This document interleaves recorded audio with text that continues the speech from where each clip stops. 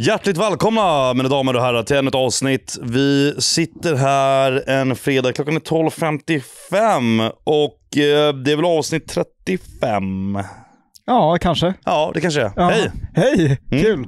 Kul. Så här, Ja, ja, vi är den här. Ja, Vi yes, yes, sätter igång yes. så. Ja, vi sätter igång. Vi sätter det, igång. det är som sagt fredag. Mm. Eh, jag ska knäppa en bärs till det här poddavsnittet. Och det är inte vilken bär som helst. Nej, det, det är en eh, Oceankaptenens guld.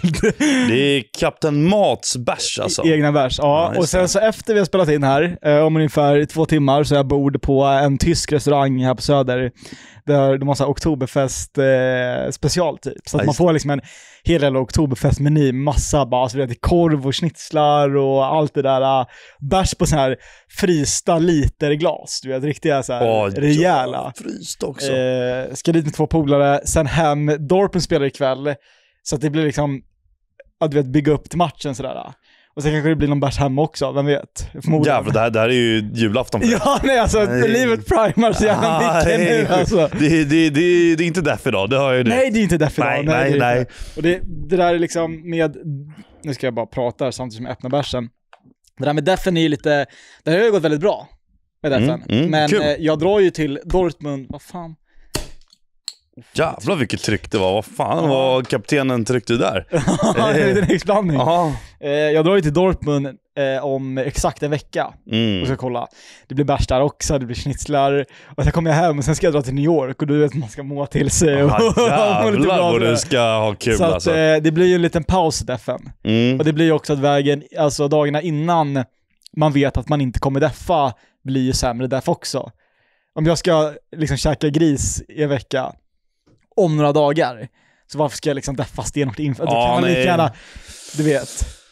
Ja, det, det, det är antingen eller. Antingen går man all in för att sen få njuta som fan. Eller så bara, nej, det är ändå skitsamma. Jag ska ändå liksom Ja. kröka och äta gott imorgon. Vad fan spelar det för roll? Ja, jag hör dig verkligen. Mm. Men alltså, eh, fan vad det känns som att Oktoberfest har kommit till Sverige Ja, det har i, fått ett uppsving. i år. Ja, det har fått ett uppsving. Ja, Verkligen. Kul! ja men för, Jag klagar inte. Nej, nej, nej, det är kul. Alltså verkligen. Men när du nämnde det för mig första gången för typ ett, två år sedan, då var jag hade, jag hade typ ingen aning om det. Eller jag hade sett lite bilder och videos kanske, men jag Ja. hade inte tänkt på det.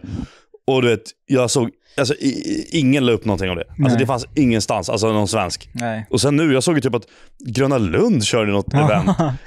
Något Oktoberfest-event och det var, det var ändå, såg bra ut liksom ja. bärs och allt möjligt. Sen såg jag att andra har styrt upp egna så här hemmafester som ska vara Oktoberfest. Ja. Och sen är det massa andra så här pubbar som har kört Oktoberfest-grejer nu. Eh, ja, så det, det har verkligen kommit till Sverige. Men, det- det, men det, det är men ju- det som är så kul, Ja. det är att det är september månad Ja. och man firar Oktoberfest. ja. Det där har jag aldrig förstått. Varför firar man inte det i oktober? Men alltså ska vi... För Eh... det, finns ju, det är sista helgen i september säger de att det ska vara. Och det är så här. Okej, om det nu är det. Varför heter det Oktoberfest för det första? Och varför firade folk Oktoberfest för typ en, två veckor sedan? Det var liksom i mitten av september. Det är jättekonstigt. eh, Jag vet inte. Ja, vi- nu, nu vi, ska, vi ska ju ta, vi ska svara på det här nu då. Jag För er som inte vet vad Oktoberfest är, nu kommer det lite info kanske. Ja, men exakt. Eh, Oktoberfest är en traditionell tysk ölfestival, så jävla bra, hållen i slutet av september och början av oktober varje år i München i Tyskland. Mm. Eh, och jag tror ju att det är fram till första helgen i oktober. Så det är bara liksom, det kan bara gå in några dagar typ. Eh, anses numera världens största folkfest. Eh, arrangerades första gången 1810. Eh, festligheterna pågår under 16 dagar före den första söndagen i oktober. Så att, ja, du fattar. Ja. Bam. Ja, ja. men det, det är väl det vi... Det, det ja. är lite oklart här varför eh, firades giftermålet en stor offentlig, det är någon Therese som gifte sig och uh, ny prinsessa och sånt där. Ja. Men det, alltså, det är ju den ultimata högtiden. Ja, ja. För det finns typ noll kompromisser. ja. I alla högtider tar man typ, alltså, eh, ja men, påsken då, kanske. Då är det så här, ja men, jag som kanske inte gillar sill, men då blir det någon typ av kompromiss där. Och du vet, det är Mm. vissa saker som man så här, inte gillar, ska man så här, är det barn på någon påskfirning och så är det så här, då ska man underhålla dem och de ska, det är någon hare och det blir lite larvigt du vet. Mm. Och så tycker jag ofta med mycket liksom, högtider att det finns Det är några... lite barnsligt. Ja men det finns några kompromisser. Det Mm. finns trevliga saker och sen finns det det som man gör som ingen typ gillar egentligen. Små Eller som- grodorna runt eh, midsommarstången. Ja, liksom. meningslöst. Det behöver man inte göra. Släpp den biten och Ja. så kan man öka liksom krökandet eller någonting Ah, okej. annat så. Oktoberfest är ju, alltså säg någonting dåligt med det. alltså det är ju bara god mat och öl. Alltså, Ja, ja. Och that's it. De Och glada tyskar som skriker. Ja, de har inte gjort det mer komplicerat än vad det behöver vara. Ja, det, det, det, det, nej, det är någonting för 18 plus, verkligen. Ja, det är det. Underbart. Eller är det 18 plus för att dricka det? Eh, Det kanske är 16. oh, sant. Det är möjligt att det är typ 16. ja, det är ja, skitsamma. Ja, Vi i Sverige i alla fall. Men, men eh, okej, kul. alltså så här. Vi skulle ju egentligen ha gjort en video för typ ett år sedan, där vi drar ner till Ja. München och vi, kör, vi testar Oktoberfest. ja. Och vi dricker bärs som fan och blir Mm. fulla och du vet, det, är, det är korvar och allt möjligt. ja. Men eh, sen var det, det, var för tätt inpå. Alltså det, det gick några flyg och det fanns något hotell kvar i München. Men alltså det var du, jag och Oskar skulle dra. Mm. Oskar filmar och sen är du och jag och kör. Ja, vi skulle vara borta två nätter. Alltså jag tror fan det skulle gå på typ 40-50 ja, ja, jag minns. Alltså, det var helt sjukt. brutalt. För att dra till München och, Och- dricka öl. Och att så här, då fanns det typ inga nice boenden. Nej, det, det var riktigt lakigt. Och då hade inte jag räknat in öl eller alltså, Nej, mat nej, i, nej. i... Det här var liksom flyg och hotell. Ja. Och jag bara, alltså jag kan inte lägga de här pengarna för en video för att dricka öl i Tyskland. Alltså det är sjukt. Alltså München, vad tar det flyget dit? Två timmar? Alltså Ja, det, typ. det, det, alltså det är inte långt. Nej. Ehm, så de, de höjer flygpriserna. Men, och sen skulle vi gjort det nu i år också, men då var det så här, okej det var lite tätt inpå också igen. Men det hade gått. Men då var det just det, jag har precis kommit hem från Sydafrika. Mitt shape är fucking dåligt och jag bara nej jag ska comeback på gymmet nu. Jag ska bara träna, träna, Ja. träna. Inga alkohol. Jag kan inte börja med att dra till München och dricka öl och svina mig, förstår du? Någon gång kommer det ju ske. Ja men jag tänker typ nästa år. Ja, och nästa år är det ju faktiskt eh, EM i Tyskland på sommaren. Ja, men, Fotbolls-EM. Ja, det är inte Oktoberfest. nej, Nej men jag är bara inne vi... Nej, men jag, är, jag har varit lite, jag har pitchat en idé om att du och jag ska ner till Dortmund och kolla fotboll någon gång. Men vad fan? Och, och, Varför ska jag göra det för? ja men vad fan, jag vill ju visa dig liksom. Det, Ja. det här är mitt andra hem. Det här Ja. är det jag gör på helger och brinner för. Jo, jo, jo, jo. Jag, jag kan kolla med dig hemma i soffan på tvn, men alltså dra dit och kolla fotboll och typ så här försöka få mig att bli någon supporter. Nej men det behöver, inte- det behöver inte bli någon supporter. Jag menar bara, det handlar om att supporta mig. Ja, ja, jo, alltså så här, vi kan försöka klaffa in en match i samband med typ Oktoberfest eller Ja sånt men där. exakt, det, Det kan, kan vi väl göra, absolut. Ja, så tar vi bilen ner och så tar vi Ja, på vägen. men jag kommer nog aldrig dra till Dortmund för att kolla en fotbollsmatch och, och, och åka hem. Nej, nej men den, jag, Det- det den låter- köper jag, den köper jag. Ja, nej, men Det är okej. du, förstår du? Ja, ja, Ja, ja, men vi gör det i kombination med en Oktoberfest det, det kan vi göra. nästa år. Ja, vi har ju Ja. faktiskt, eh, det, det här avsnittet är tänkt att bli lite frågeavsnitt. mm, precis. Vi har ju, det eh, lite annorlunda. Eh, lagt ut på eh, Instagram, på offcam-instan, bett om lite frågor. Mm. Väldigt mycket frågor och väldigt mycket bra frågor. Ja. Eh, Jag, jag, alltså, jag kom in på kontot för alltså, två, tre minuter sedan. Eller typ, alltså, en minut innan vi startade podden. Du är ny lur sedan en vecka tillbaka. Exakt. Så du har loggat ut. Jag vill bara nämna lite om den här nya telefonen. Ja. Det är iPhone 15 Pro. Och jag, jag, jag har haft 13 nu i, vad blir det, två år. Så jag bara, nej, det är nog dags för ny lur. Du vet, 13, min 13 var helt spräckt där bak och det var lite, ja, man kände att den började bli lite old. Ja. Jag hade kunnat haft den, absolut. Men skitsamma, jag köpte en ny. Och för det första så är ju, jag- startat telefonen och öppnat Snap och det är, äh, du vet, kameran och Mm. allt är bara helt fuckat och du vet, all, allt är, några andra appar som inte var uppdaterade, Ja. allt var bara fuck liksom. Ja. Jag bara, fan har jag köpt för någonting? Och nu sägs det att de kanske kommer eh, returnera alla iPhone 15. För att eh, den har någon överhettningsfel i sig. Jaha. De överhettas. Har du det då? Jag har inte märkt av det, Nej. men jag menar det, det är ganska Men kallt de, ute nu. De liksom. gör väl det säkra för det osäkra i så fall. Jag, jag vet inte. Så nu, Men de lär nu, väl också, de har ju redan gått ut så många människor. Det är möjligt att de kanske tar tillbaka, alltså att nästa batch är, är liksom okej. ja, Eller något sånt, jag vet inte fan. Ja, nej, jag vet inte. Folk har bara frågat mig, bara, kommer du göra det? Och jag bara, va? Så jag var tvungen att söka upp det. Jag bara, ja, det är någon överhettningsfel. Men hur fan kan typ världens största företag, eller ett av världens första- största företag, släppa en, deras årliga produkt och det är sånt här, ett, ett sånt här fel? Nej, ingen aning. Ingen Det, aning. det känns ju jättekonstigt. Men äh, ja, jag, jag vet Samsungs telefon exploderade väl för typ så tio år sedan. inte. Gjorde de? Ja, det var, de släppte en modell som exploderade. Nej. Jo. Som typ så här, äh, på riktigt bara brann upp från ingenstans. Men jag menar, vad, testar man inte sånt? Och typ, testar man att den här överhettas? Har man inte testat med Jo, typ. 100 olika telefoner Jo. i typ ett år innan? Så att det är bara, nej men det här är bra. Ja, men sen är det väl eh, någon fabrik där i, Kina som bara, okej men nu ska den här göras i miljontals exemplar. ja. Och då har de bara fått liksom en snedtändning. Ja, det, ja, det är, ja, det är väl typ något sånt det. Mm. Men eh, alla appar har uppdaterats nu och nu är det bra igen. Men, och den, så här, den, väger, den väger mycket mindre för det är så här, titan, eller vad är det? Ja, Just det. titan eh, skal, Ja. eller inte skal, men du, du fattar. Ja, Den, den, väger mycket mindre. Men tydligen det där break-testet på den Ja. ska vara, ehm, det är det sämsta någonsin efter eh, iPhone 6. Tydligen. var det sexan som böjdes hela tiden? Ja, Ja. Så den här ska tydligen vara, alltså du vet 7, 8, 9, 10, 11, 12, 13, 14 är bättre på alltså, så, det sättet Ja. än vad 15 är. Jag har inte jag, vågat jag, är, testa. exakt- jag, är ju f- 14 Pro och det, är- jag känner mig inte taggad på, det är inte nödvändigt att uppgradera. Nej men det skulle jag nog skippa. Nej. Det gör inte det. Jag... Eh, ja, och det är alltså det är helt sjukt. Vad, alltså, går telefonen upp i pris eller, eller vad, vad händer? Hallå? Jag gav 20 lax för den här. Hallå, har du sett eh, hur mycket dyrare i Sverige än i USA eller? Nej. De går ju för typ så här. Jag tror när jag köpte min, jag har för mig att den kostar typ så här uh, 1000 dollar, 1100 dollar eller någonting. Eller så här 900 dollar. Och det här var alltså för ett år sedan köpte jag den. Ja. Så då var inte det samma kurs som den är idag, den är Nej. värre idag. Och jag tror jag gav typ 17 för den. I Sverige? Ja. Så det är alltså Nästan en dubbling. Inte näst, riktigt. nej, men men, nästan, du vet. Du fattar hur grov den är. Och What? samma sak här, av någon anledning så är de så jävla mycket dyrare i Europa. Men alltså vänta, jag måste bara kolla. Eh, vad gav jag för min exakt så att inte jag säger fel här nu? Jag gav 19 889 kronor för min. Ja. 20 lökringar. Alltså what?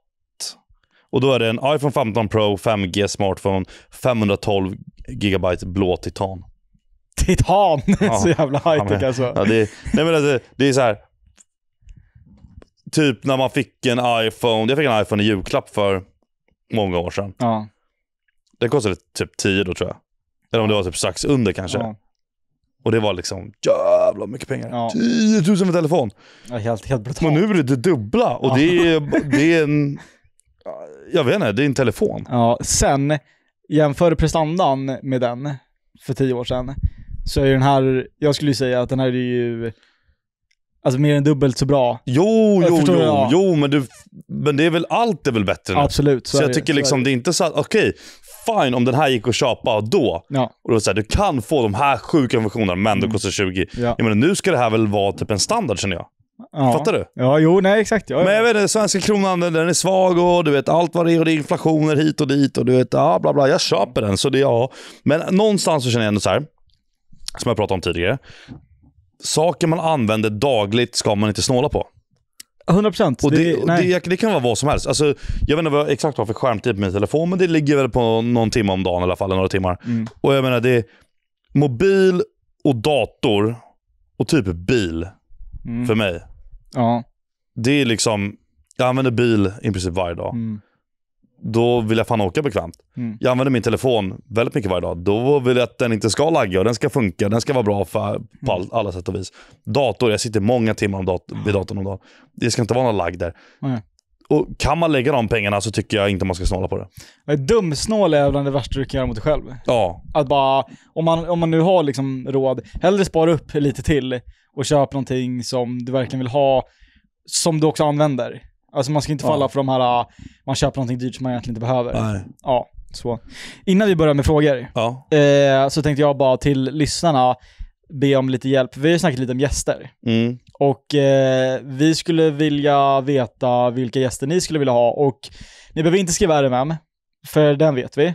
Det vet vi. Och vi, jag, gjorde ju en video med dem och då snackade jag lite om det där. Och de bara, men fan vi löser det. Vi löser Ja.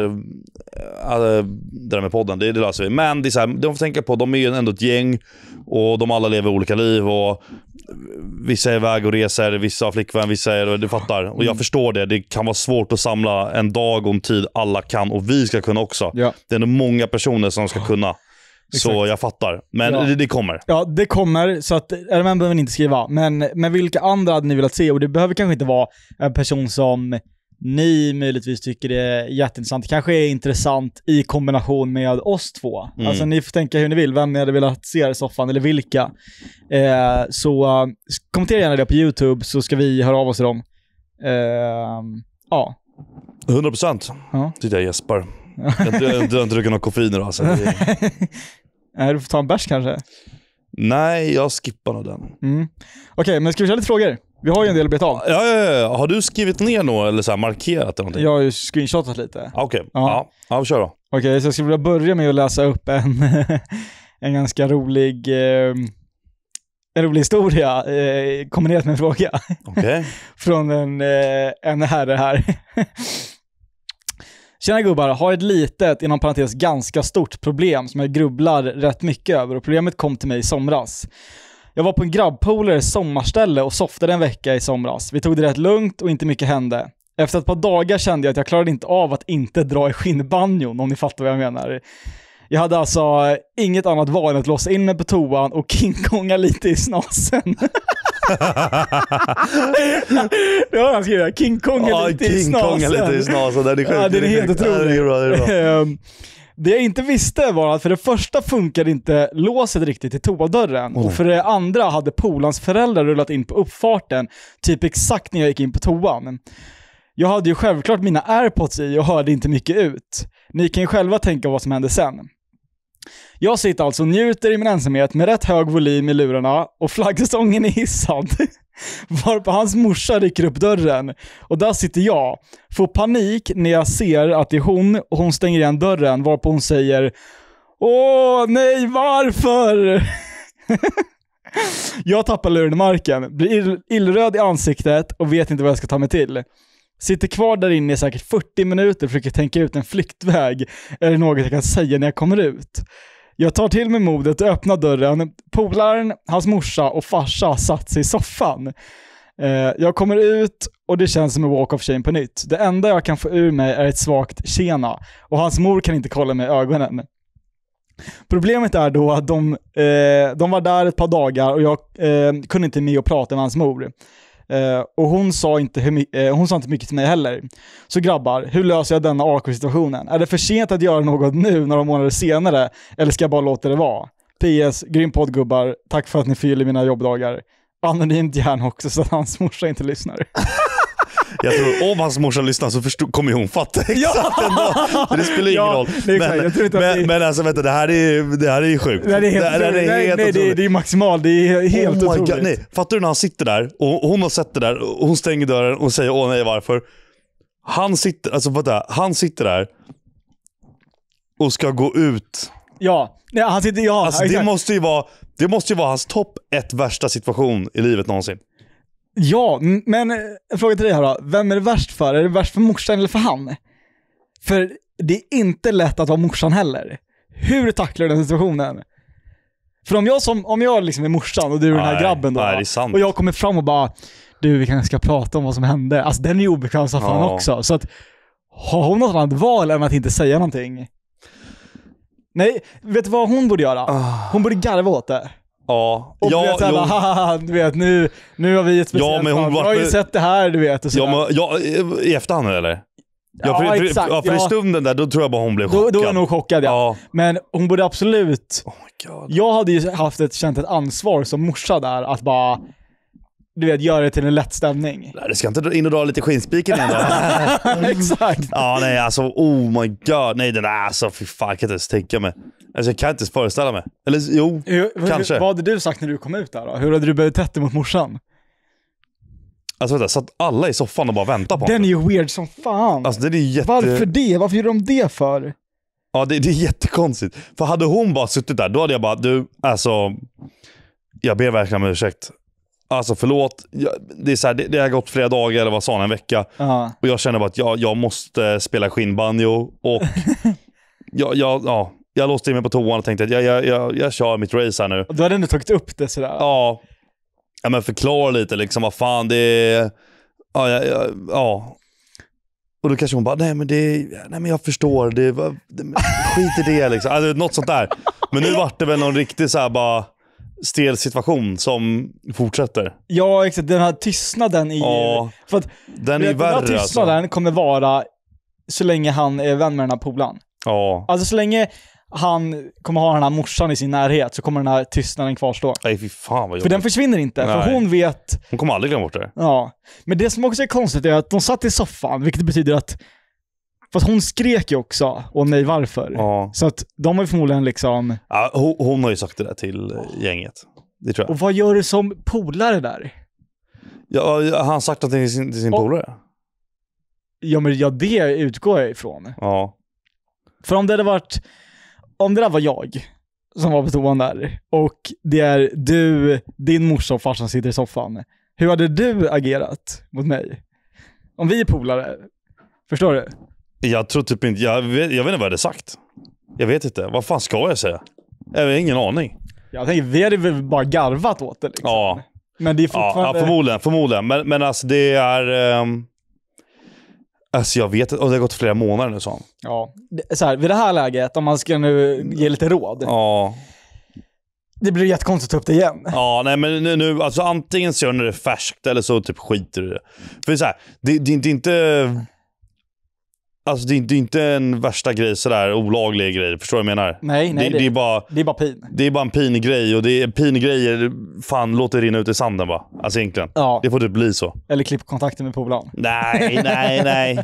Klipp kontakten med morsan där. Det. Ja, ja exakt. Ja, men exakt. Häng på, eh, man får hänga på, på ditt ställe Ja, exakt. i framtiden. Ja, jag tror det blir. och sen bara garva åt det. Ja. Och sen så, Men alla de här situationerna, pinsamma, stela, jobbiga situationerna, de garvar man ju åt efteråt. Alltså, ja. efteråt. Ja. Och det behöver inte vara dagen efter eller en vecka efter. Alltså, ge det ett år eller två år. Eller fatta om tio år eller på ditt bröllop och någon tar upp det här i tal. Mm. Ja, liksom. ja, 100%. Minns du, ja, Nils eller vad han- vi hittar på det. Minns du Nils? När du var på mitt landställe. Året var 2023. Och du drog en... Eh, du skulle spela lite på skinnbanjon där. Morsan klampade in. Och alla bara garvade. Då blir Ja. det kul. Det är skapat... Ja, den här storyn på ett bröllop är ja, dunder. den är dunder. Det är skapat Ja. en storytime. Det är så man får tänka. Ja. Alltså ärligt, jag Ja. tror typ det. Är du, är du orolig för eh, ett eventuellt framtida bröllop för din del, om vad som kommer tas upp? Alltså ja, jag är fan det. Det, det är så? Ja, alltså... Eller, ja, jo, jo, Ja. jo men det är Ja. Är du det? Eh, Orolig kanske är man inte är, men Jo, men det, det är lite nervöst. ja, det, ja, det, det är lite man nervöst, har ja. ju... Det finns ju så mycket saker som bara liksom några av ens närmsta vänner vet. Ja. Sådär, som man gärna inte vill ska komma ut. Inte liksom till släkt och du vet, så ska, sitter den jävla mormor där och fattar ingenting. bara, bara, vad, är det, vad är det för barnbarn jag har? ja. Men vad är grejen att man ska droppa allt sånt där på ett bröllop? Är det bara för att alla är samlade? Bara, nu ska Ja, sanningen men ut. alla är samlade, alla har börjat bli lite på pickalurven när det är Mm. dags för tal. Och det är fruktansvärt kul. Mm. Och att vara, i vilket annat tillfälle i livet har man möjlighet att typ roasta någon på det sättet? Nej, jag vet inte. Nej, ja, det, det är väl det perfekta tillfället. Mm. Ja, ja, det jag, kommer, eh, jag kommer ju gå all in. på mig. Ja. Då får fan jag göra på det också. Det, det, det, ja, det, ja, det, alltså- det, det, det kommer jag ju få ta. Alltså, det, det man, det man ger får man också tåla lite så. Ja, men lite så. Eh. Du får se vem som blir först. Ja, exakt. Men var på din vakt Ja, absolut. Eh, Om du är först och är grov mot mig, då jävlar kommer jag lägga en växel på det alltså. Jag kommer hitta på grejer. Nej, det får man inte Nej, göra. okej, man det får man, hitta nej, på. nej, det får man inte göra. Nej, den är ful. Det är, det är fulspel. Ja, nej men Kingen, eh, vi, vi önskar dig eh, Ja, lycka till. all lycka till där i framtiden. Ja, här har en fråga då Svante. Mm, mm. Den är enkel och enkel. Okej. Hur undviker man skatt? Men har, va? har du något tips på hur man undviker skatt? Nej, det har jag inte. Vad fan är det här för fråga? Nej men jag tänker liksom bara, om, har du något... Har du Nej, något men en, en, en grej jag tänkt på när det kommer till det där, det är ju alltså... Fan vad lätt det var för typ, ja men alltså förr i tiden, att skattefiffla. Ja. Versus idag. Det, det kommer bara nya lagar, alltså det kommer nya lagar inom skatt och du vet, och det anses bara mer och mer människor på Skatteverket hela, hela tiden. Till slut kommer det vara alltså, vattentätt. Ja. Alltså, kanske aldrig, aldrig till 100%, men mer eller mindre. Men alltså undvika skatt, ja du skriver ut från Sverige och du flyttar till Dubai och startar upp ett bolag där eller något annat skatteparadis. Alltså det är det. Jag, jag får ju nästan kallsvettningar. Tänk att du hade vaknat imorgon Mm. Och sen så har du liksom teleporterats in i en så här revisor för typ ett stort bolag, så här main revisor. Vaknar upp i den skor och ska vara den personen för typ en dag. Jag kan få kallsvettningar att tänka på det. Ja, det är det. Alltså, och bara, du vet, siffrorna och du säger ju själv, det kommer nya lagar hela tiden. ja, ja, du ska ha koll på allting. Och du vet, alltså, så här, jag, eh, de största fienderna i mitt liv, det är typ Skatteverket. Mm. Och det är inte så här, det är fine att betala skatten, alltså betalningen är okej. Det jag hatar med Skatteverket är att de har så jävla dålig, så här, heter det, UI, alltså deras hemsida är så bajsig. Ja, den är riktigt dålig. Och om man ska ändra någonting, så, så här, gör det lätt för mig att ändra någonting.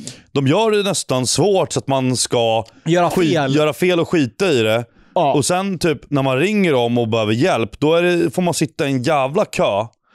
Men alltså så här, när man kommer fram till dem och pratar med dem, för jag ringer ändå Skatteverket eh, alltså då och då, liksom, för det är grejer jag undrar över. Ja. Alla är jättetrevliga. De är så jävla trevliga. Ja, för det, det, du vet, jag går in med inställningar där du säger bara hej, jag, alltså så här, jag förstår inte det här och jag vill bara göra rätt. Hur gör jag? Då hjälper de dig. Ja. Men det är liksom att, jag håller helt med dig. Mm. Alltså det, det, det, det är riktigt old school. Dock har de väl ändå uppdaterat den lite senaste, Alltså eller? du, jag, så här, jag skulle göra en superenkel grej. Jag är ju ett AB och tidigare hade en enskild firma. Jag skulle ändra preliminärskatten på min enskilda firma, för den jag använder inte längre, så jag kommer liksom inte tjäna så mycket pengar som jag skrev in först. Och jag går in, och det här är liksom en enkel basic grej att ändra preliminärskatten. Det behöver man göra lite då och då och sådär. Och du vet, jag kommer dit och jag bara, vad fan vill de att jag ska göra? Jag fattar ju inte. Och grejen är att när man ringer dem så är de så jävla trevliga. Problemet är bara med mig att jag tycker att det är stelt att säga att jag inte fattar fler än typ så två, tre gånger. Ja. Så det slutar med att jag säger att jag fattar, lägger på, så fattar jag fortfarande inte. Åh nej. Åh, nej. Och så sitter jag där och bara, aha, Men då borde man kunna söka inne på Skatteverket, preliminärskatt. ja. Och så kommer upp så här. ändra preliminärskatt, fråga, ja, men du vet, så här, och så bara du vet, massa grejer. Och de gör ju det, det är bara det att, och det står någon liten guide där, och så hänvisar de till någon länk, ändra här, klickar man dit. Kommer till en sida där det är så Och här så är det liksom. Periodiska systemet som dyker upp helt Ja, plötsligt. per- åh, nej. Och man bara ska så här, jaha, Ja, K10 och grejer. nej, Ja. det är så jävla svårt. Så, så här, betalningen är jag fine med, Ja. men jag hatar sättet man ska göra det på. Ja, men jag, jag tror nästan, alltså helt ärligt, att de har gjort det lite svårare med flit. Ja, för, här, Nästan. så här, hade det här varit ett eh, privat bolag där det fanns konkurrens som Skatteverket, Mm. så hade det varit så enkelt att göra allt det här. Mm. Alltså du hade skannat med Face-ID på telefonen, skrivit in det du vill göra, så bara voff, pip, så är bara allt är klart. Mm. Men eftersom Skatteverket är statligt och har liksom monopol för att det är Skatteverket Mm. liksom, så de behöver inte fixa deras hemsida. Nej. För att alla måste använda den ändå, så de behöver liksom inte riktigt förbättra sitt utbud på det sättet. Nej, exakt. Som, men det jag inte förstår är ju att Systembolaget har också monopol. Ja. Men de är ju jävligt bra på att vara i framkant och vara väldigt bra. Förstår ja. du vad jag menar? Ja. Varför inte Skatteverket det? Jag vet inte. Det är för att de inte har någon, för Systembolaget kan ju ändå rent politiskt bli liksom utkonkurrerat. Ja, det kanske kan, det kan nog inte skatte... Nej, det kan, Skatteverket måste ju finnas ett skatteverk. Ja, exakt. Sant. Jag har en fråga till dig. ja. Varför ställde du den här frågan till mig och garvade? Som att, Nej, jag förstår att det låter som att, eh, Ja. att du skattefifflar. ja eller hur? Ja, nej. Vet du hur fucking korrekt det är? Jag var, vet- jag- jag, kom här, jag var precis hos revisorn. Ja, jag vet. Alltså precis innan det här. Och vi gick igenom bokslut och årsredovisning och det var så mycket papper. Och du vet, och jag, du vet, jag har sagt det sedan dag ett jag med ett bolag. ja. Jag fattar ingenting, men allt jag vill göra är bara att göra det rätt. ja. Jag vet. Så smidigt som möjligt. Jag vet Och så att- kommer du här nej, och försöker... Nej, det var inte min tanke. Ah, nej. Jag vet att du gör allt rätt. Ja, tack. Eller allt eh, som du tror är rätt. I alla fall. Ibland kan det bli fel utan att det är ens mening eller att man vill liksom. Men Mm. jag vet att du gör, vill göra allting rätt. Men, i, liksom en, i en framtid, vi säger spola fram 30 år, Mm. du och jag vinner big shots i storbolag och sådär. Mm. Det vi kommer sitta och snacka om på, på liksom kvällarna är ju bland annat skattefiffel, tänker jag. Hur kommer vi undan så billigt som möjligt här? Det är ju en del av företagets strategi. Ja, alltså liksom, så här, det, det, vet du vad, det, det, det, ja, det är inte ens värt att försöka skattefiffla i Sverige. Jag, jag tror inte Nej det. men, nej, men en, ett alternativ kan ju vara att dra till Malta eller Dubai. Ja. Och då gör vi det. Ja. Ja. nej, men det, det, jag, säger det, vi har ju någonstans en dröm om att segla över till Caymanöarna. segla över till Caymanöarna och förvalta lite pengar, starta upp ett skalbolag och bam bam, in, ut snabbt. Ja. Alltså det är, jag vill det så mycket. Jag vill, ja, jag vill Alltså, också det så mycket. Och det är bara för att kunna säga att Ja. jag har startat upp ett skalbolag på Cayman. Ja. Och att jag vill också kunna säga att jag har seglat över till Ja, Cayman. ja, det är det. Med, med, med en säck med ja, pengar. exakt. Alltså, det är så jävla nice. Åh, fy fan vad kul alltså. Fan vad kul. Nej, vi får se alltså. Nej, men det, det, det, alltså, det är väl det smartaste. Alltså, jag känner jättemånga personer som har skrivit ut sig från Sverige. Mm. Och det är Oliver Forslin är en av dem. Eh, han skrev ut sig från Sverige, startade upp sitt bolag i Dubai. 0% skatt. Nu har det väl ändrat lite, så det är väl typ det är 5% skatt om du ska ta ut... Eh, nej, ja, det, det är någon sån här skit, men det är ja, i princip ingen skatt alls. Eh, sen är det på vissa nivåer och så vidare såklart. Men alltså ja, det är det. Och alltså ärligt talat, alltså, hade jag skrivit ut mig från Sverige, flyttat till Dubai, startat upp mitt bolag där, gjort allt jag gör fast i Dubai, fakturerat allting där. Det, alltså, man halverar ju tiden. Mm. Alltså, så här, nu får du tänka ungefär, alltså, det är typ hälften försvinner ju. Omsätter jag 10 miljoner, bam det är 5 millar liksom sen ut. Ja. Eller ja, jag är vinst 10 miljoner, det är 5 millar ut.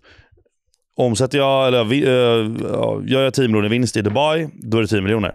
Så Ja. jobbar jag liksom stenhårt i 10 år i Dubai, det är som att jobba stenhårt i Sverige i 20 år. Du halverar ju tiden. Det, det, ja, det är där vi har det. Exakt. Men sen har det sina fördelar och nackdelar med att vara i Dubai. Liksom. Det är Mm.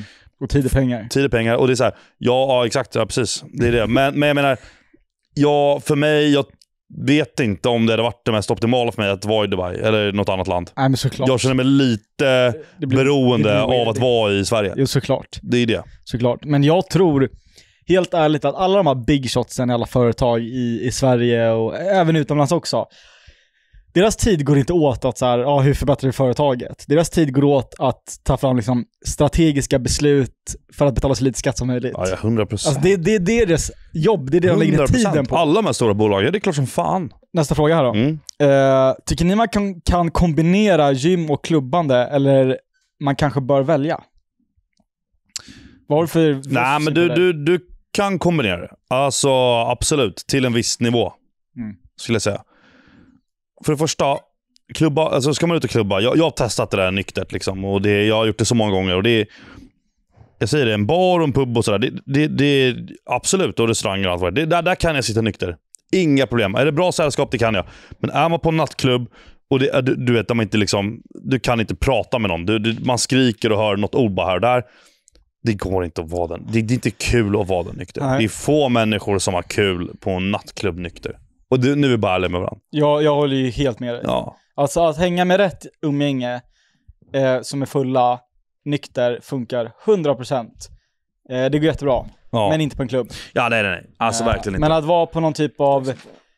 Här får vi lite leverans. Ja, det är här. pomleveranser nu. Det är mat här. Fortsätt Ja. prata. Eh, men att vara på någon typ hemmafest eller liknande med ett umgänge man gillar kan vara skitkul nyktert. Eh, så att det där är inget, inget problem med alls. Och jag backar dig också där att... Ja, Men, jag, med, men med kombinationen där då av att kombinera träning och gym. ja, Träning och gym. Klubb och gym. ja, Då är det liksom att, men typ, minns du 2017 sommaren Joppe? Vi var på så otroligt mycket hemmafester. Det var 2018 också kanske. mm, Ja men du vet, ja. det är så här. Jag gymmade, alltså jag gymmade liksom typ varje dag i princip. Och sen var det liksom fester då och då, ja man krökade. Men så länge, alltså hela problemet är ju det här med testosteron, att det sänker testosteron. Alltså krökar du stenhårt, då har ju, alltså ditt testo sjunker ju otroligt mycket. Alltså otroligt mycket, jag tror det är upp till så här 80-90% någonting, jag vet inte exakt. Men beror på hur mycket du krökar såklart. Mm. Och sen eh, oftast så käkar man alltid skit så här, du vet, och, och allt vad det är. Man, sov, man sover väldigt dåligt, man får inte alls bra sömn när man eh, har krökat. Och det är typ inte riktigt värt att träna dagen efter att ha krökat. Och det är inte värt att träna samma dag du ska kröka heller. Så där har vi två dagar som försvinner. Och sen kan det till och med vara två dagar efter att ha krökat så är ditt testosteron fortfarande liksom down. Så vi snackar nästan ja, men två och en halv slash tre dagar beroende på hur hårt du krökade som försvinner. Och gör du det här en gång i veckan, eller två gånger i veckan, och sen samtidigt vill du bygga nice fysik. Alltså bro, det är jag ledsen, men alltså, du, du får skala ner på det där. Mm. Men håll det till en måttlig nivå. Alltså jag menar, dricka två, tre bira, det är inget fel. Nej. Alltså det är, alltså inte att det är bra, men det är, inget, det är inte liksom, det är inte samma nivå. Nej, man måste väl hitta någon typ av balans som funkar för en själv. Jag tror att eh, personligen så har jag nog ganska bra balans där jag kan, eh, jag krökar ju ganska sällan, förutom på, på sommaren är det ju en hel del Ja, då, då går det undan. Men eh, resten av året så är det, ja men jag dricker kanske alkohol en gång i veckan i snitt. Men då, okej, men, ja, men då är men det men då, inte liksom... då räknar jag en eller två bärs till fotbollsmatch också. mm, Eh, det räknar jag liksom in i att dricka alkohol. ja. Och eh, när jag inte dricker mig stupfull så jag kan träna dagen efter och det går skitbra. Eh, så jag har nog ganska bra balans där, tycker jag. ja, men det är just det. det är, jag tror att man, man får fan softa lite med att bli kalaspackad. Just det. Det är det jag menar, vadå? Jag knäpper några fors i veckan. Lätt. Ja. Inte varje vecka, men alltså ändå i vissa veckor lätt. Ja. Och det är... Ja, balance is key. Ja, Som vanligt. 100%. Eh, vi har fått... Det var väldigt mycket frågor om eh, vad jag jobbar som med. Men det har vi redan pratat om. Vi har, vi har nämnt det i ett tidigare avsnitt. Och vi har nämnt att du har hoppat... Eller, Och vi har nämnt sagt att jag har slutat, Ja. men det är fortfarande väldigt mycket frågor, så jag tänker att jag tar det igen. Och sen kan jag lite, det var vissa frågor också vad, vad jag har jobbat som. Så medan jag berättar det kan ju du käka lite Ja, partaj där. jag, jag nafsar i med min partaj så länge. Där. Det är jävligt skönt att du käkar partaj här. Nej men okej, men då kan jag, jag kan ju dra min lite så här uh, arbetshistorik. Eh, Min eh, karriär började som fotbollsdomare när jag var typ så här, fan var jag, kanske 12 eller något sådär. Körde lite femmannamatcher. Sen så har jag ju haft, liks, eh, man tjänar typ så här, Fan, jag sa det nu. Då tjänade man kanske, vad kan det varit, typ så här 200 spänn per match eller någonting. Eller 100 spänn kanske. Det var inte bra. Men det var ju, typ, det var ju svart typ, alltså så här, det var ju asbra. Eh, det var inget skatt direkt. Sen har jag också haft, ja jag har skattefifflat. Sen har jag, eh, likt dig där, vi snackade om prao förra avsnittet när du praoade där. Jag hade ju en prao-dag på någon jävla så här bov- bowling och Larrys i Sickla. Som jag var på en dag, sen sjukade jag mig och kom aldrig tillbaka. Eh, och praoade aldrig andra omgången praktik där i, i grundskolan.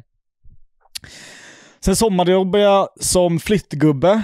Eh, en eh, kortis. Det var ju jävligt, det var ju brötigt. Det var, man satt ju i en truck, åkte till ett ställe, var på någon sån musikaffär på Söder minns jag.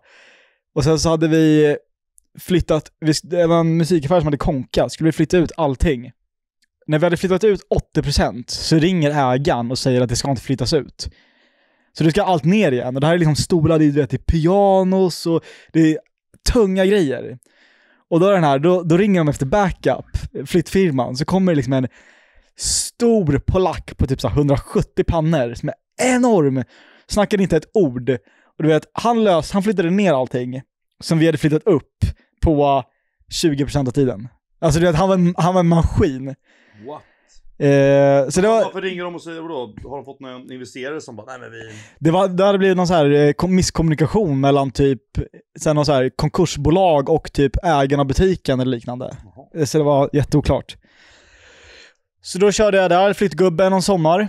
Och sen så fick jag ju jobb, eh, jag skulle ut och resa minns jag till Centralamerika i typ tre månader. Bokade den resan utan att ha en krona på kontot och inget jobb. Eh, det här var efter gymnasiet. Jag bokade allt och jag bara okej, hur fan löser vi det här? Fick ingen jävla jobb och sen bara av en slump så eh, löste en polare in mig på Elgiganten inne i stan på Kungsgatan. Så jag, eh, jag knegade Elgiganten i ett och ett halvt år i, på liksom lagret och så här returreklamation disken och fick ta, alltså det var ju som bajsgöra, du vet. Det var ju inte kul att stå där och ta skit för att vi fick ju alla arga kunder som hade på något sätt velat lämna tillbaka eller att någonting var trasigt. Och där står jag åtta timmar om dagen och bara Ja, men enligt eh, Konsumentverket och bla bla bla, du vet, man gör returer och ja. Nej, det var ju inte askul. Elgiganten är det värsta jobbet du har haft. Eh, alltså det här flyttjobbet var ju nog värre, men det var ju betydligt mer kortvarigt. Så att eh, Eleganten blir ju en absolut, det blir nog det värsta. Men det var ändå ett ganska skönt gäng med boys där, vilket hade det inte varit för det där gänget av boys så hade jag ju dragit betydligt tidigare än jag gjorde. Och sen efter det så var det ju mitt förra jobb då och då jobbade jag som fotograf och eh, filmare åt ett träningsföretag som gör eh, alltså träningsmaskiner. De gör så här, det svänghjulsträning kallas det. Excentrik heter företaget. Man kan ju googla om man är nyfiken på vad det är för produkt. Men jag spelade in liksom deras kampanjfilmer, eh, produktbilder, alltså allt som var i bild och film gjorde jag åt dem i tre år. Fram tills idag. Alltså det är så roliga kategorier. Alltså, vad heter det? Fotbollsdomare, Ja. flyttgubbe, elgiganten och filmfotograf. ja, Alltså det, det hänger ju inte ihop Nej, någonstans. det, nej, den är oklar, men vad, man, alltså, man tar lite det man, eh, man fick och sen filmfotograf, det var ju faktiskt någonting, det var ju första jobbet som var kul. Där fick jag någonting som jag gillade. Eh, eftersom att jag, ja men, eh, jag har filmat och fotat länge och tycker det är roligt liksom. Så det var ju, det var ju asnice. Eh, men då är frågan till vad jag gör idag nu då, när jag inte har det jobbet längre. Jag är ju arbetslös numera. Och Ja men podden är uppenbar. Det lägger vi ner lite tid på, både du och jag. Eh, och sen så, Men vi tjänar inga pengar. vi, nej exakt, vi, nej, vi tjänar ju vä- väldigt lite pengar på podden. Vi har ju, som man kanske märkt, inte så mycket reklam i podden. Och det, det har ju varit tanken också. Vi vill inte att det ska vara så mycket reklam. Eh, man ska kunna sitta och sätta på den här podden och bara njuta lite till sig. Men sen så... Sen så, det, det man inte heller, det kan man också berätta, men jag har ju lite planer på att eh, starta upp en liten egen YouTube-kanal här med lite matlagningsgrejer som vi har snackat om. Eh, eller jag har bollat lite idéer med dig snarare. Så att eh, lite planering inför det och så. Eh, och sen så har jag väl ja, men något annat projekt där som jag inte riktigt kan eh, berätta om. Men jag, Intressant. Ja, men jag har grejer att göra så att säga. Eh, så att, och, och sen måste jag ju tillägga att jag har ju också under lång tid, utöver min anställning som film och fotofotograf, frilansat. Så att jag har ju eh, senaste tre åren fotat och filmat eh, eget Nu tillbaka. Ja. och gjort, och gjort det. Så att, eh, och det är jag fortfarande lite. Och eh, det kan vara allt från mode, event, eh, releasegrejer. Är sånt kul? Eller? event är ganska roligt när det är ett riktigt bra event. Alltså när det är ett Mm. event som är otroligt välplanerat och man ser en fest som bara jävlar vilken fest. Mm. Eh, jag jobbade mycket för en eh, PR-agenturgrej som specialiserar sig på event och de var så jävla duktiga. Och då är det kul att få se de festerna, hur de har inrett och ah, det där, det är jävligt häftigt. Ehm, Nice. fotot i sig är inte kul. Alltså du sätter på en blixt, alla kan typ göra det, det är inte svårt. Du måste bara komma in i den branschen typ. Ja, alltså fota. Eventfoto. Ja. För det är så här, det är verkligen inte svårt. Du måste bara kunna kamerainställningar Ja. och på med en blixt och sen så är det bara snappa bilder på det som händer. Ja. Det är inte så hög, vad säger man, krav på skillsen. Nej. Eh, och sen så är det väl typ, Betalar det bra? Eventen kan betala bra om det är lite längre. De som betalar bäst är ju när du får typ, ja men jag fotade Volvo, de släppte ju deras stora el-SUV, den här E, EX90. XE90. Ja, ja, ja. De hade stort event i Kungsan. Fotade där typ så här åtta timmar. Tror jag fakturerade 60 000 ex-moms. Åh jävlar. Eh, och då var det så här bara, man ser vilken kund det är, då säger man bara jag tar det här.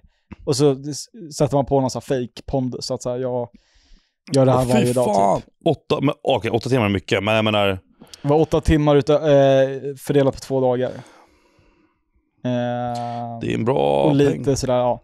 Det, så det är bra med de här, alltså du kan göra ett eventjobb på så här två, tre timmar och fakturera typ så här två, tre tusen. Det är, så det är inte bra. Nej, Ehm, eller jag tyckte inte det i alla fall. nej. Jag och så var det så här, det var mycket helger och sånt.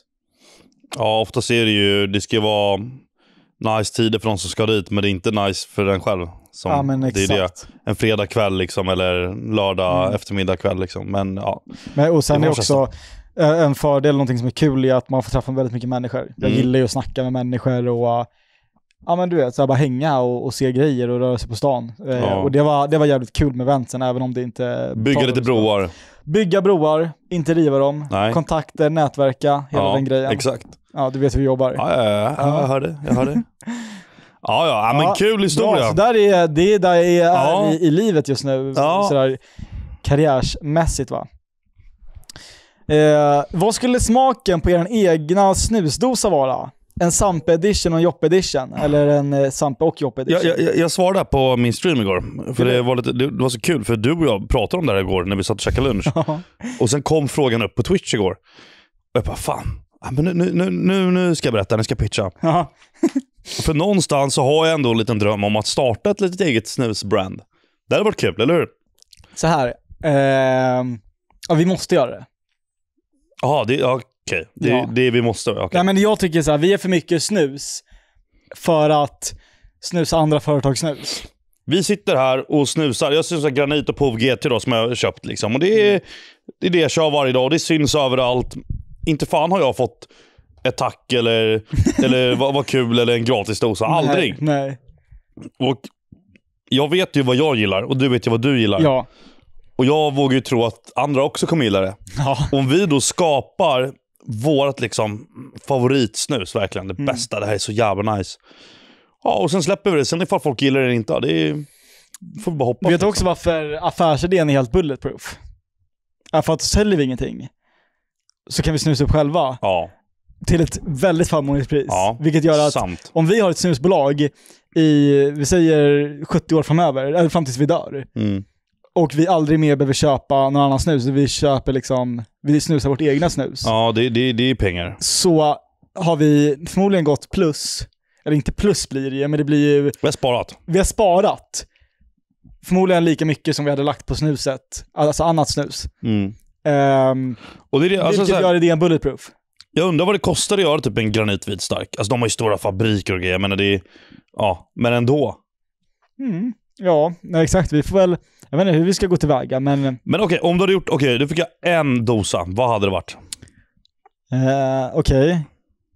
Eh, jag hade tagit, jag hade försökt efterlikna någon typ av One-prilla. One-prillan är väldigt bra. Ja. Eh, med. och kanske någon, går att kombinera lunkan och One, men jag gillar ju de här lite fetare sådär. Mm. Sen hade jag ju velat ha tydlig tobakskaraktär, men någon prilla som jag verkligen gillade var ju den här uh, GT-generalen. Just det. För jag gillar de här uh, Rapea, du vet GT, det är lite citrusinslag och så gillar jag ju den här barr, du vet, barr, barrskog, eh, lite den. Kåda. Ja. Ja. Så att någonting där åt det hållet, lite såhär snusskog, lime, citrus. Ja, okej. Ja. Påse. Men påsen, jag tänker där, jag gillar ju rivigheten i Mm. Lundgrens-påsarna. Att de liksom, de sitter där de ska, de skulle För aldrig glida o- runt. Onen är ju motsatsen. Vad sa du? Onen är ju motsatsen. One är ju väldigt mjuk. Alltså Det den måste vara den ju, mjukaste som Ja, den är jättemjuk, men jag skulle vilja hitta en kombination mellan One och Lundgrens. Mm. Jag sa samma sak igår också. Det var att... Alltså, Noxen är för hård. Ja. Och graniten är väl typ... Den är inte jättehård, men den är lite, den är lite mjukare än oxen. Det är, det är typ det jag känner är skillnaden mellan... Noxen har väl lite typ mörkare tobak tror jag också. Alltså den är lite mer tydlig. Och den är betydligt hårdare. Medan graniten är lite mer mild och mjuk i prillan.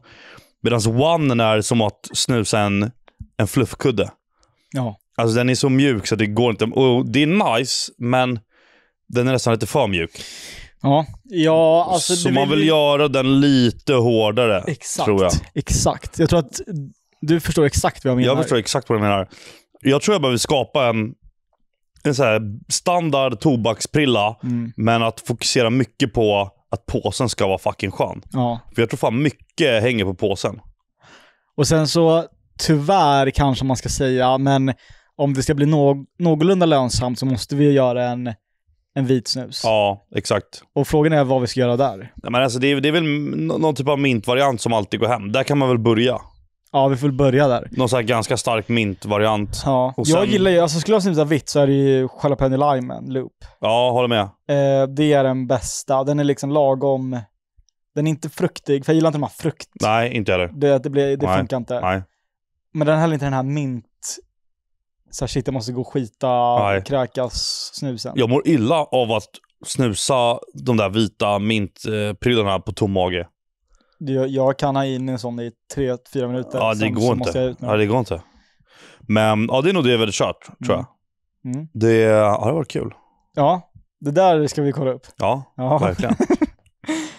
Okej, men här, här har jag en, jag har en fråga här. Mm. Eh, vi har en fråga, vad är det roligaste ni gjort tillsammans? Vad, vad, är, vad är vårat bästa moment ihop? Ja, men, alltså, men de här frågorna är så jävla jobbiga. Ja, det krävs ju att man tänker lite. Ja, och jag orkar inte tänka. Ja, Måste man använda hjärnan och Ja, bli varm och... ja. Nej, okej. Ja, men det kör vi. Ehm, Det, det beror på, för att det, det som jag...